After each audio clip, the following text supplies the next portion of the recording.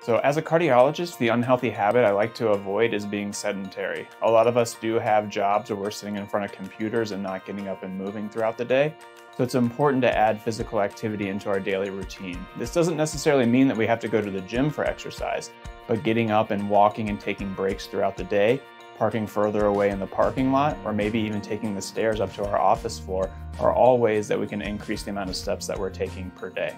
What I tell my patients is that they need to walk about 30 minutes a day, but we don't have to do that all at the same time. This can be broken up throughout the day. So whether that's five, six minute walks, three, 10 minute walks, whatever works for them to you know, put it into a routine, just to make physical activity a normal part of our day, like we would brush our teeth or do anything else.